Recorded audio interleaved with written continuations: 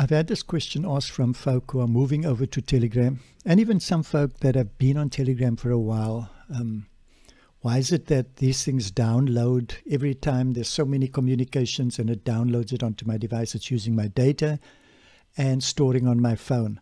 But here, let me show you. So, what you would do is come to the menu area here and you go down to settings under settings, you see there's an area that says data and storage. Now you'll go to that one.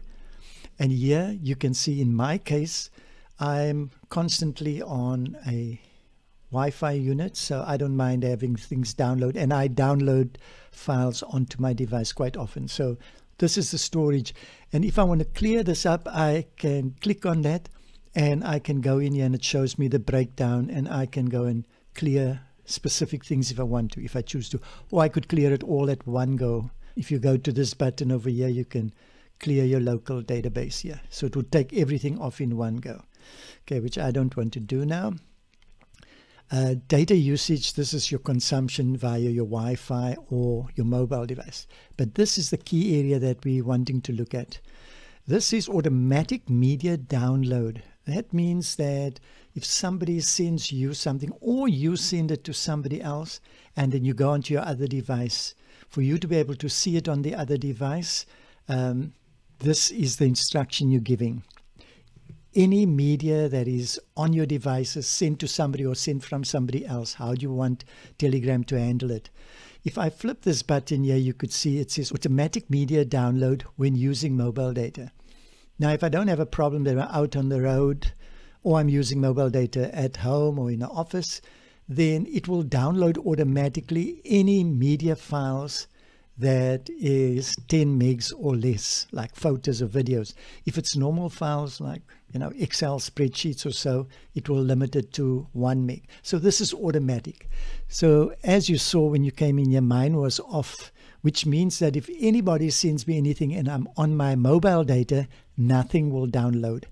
By nothing download means it will come onto my device. I'll see it. If there's a text, I'll see the text. Um, if it is a file, I'll see the thumbnail of the file, or sometimes it's blurred out depending on, on how the file was sent. But you'll see the indication that there's a file there. You will have to click on it to download it physically from the cloud onto your device. Okay, so that's if you're on mobile. Here, connected, automatically it will download anything that's 15 megs or less for photos and videos and files 3 megs or less. So if somebody sends you a video that is 16 megs, it will come there and it will show there, but there'll be a little download arrow. It won't automatically download itself.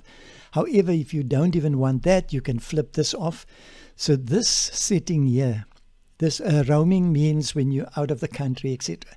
But these settings here means that if anybody sends you any communication or you send it to them and you go and look at what you sent on another device, nothing will come off the cloud down onto your device until you click on it and then it will download it for you.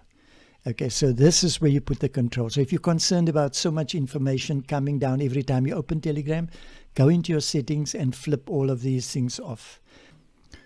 Okay, so that's it. Be blessed. Have a fantastic day and shalom to everybody.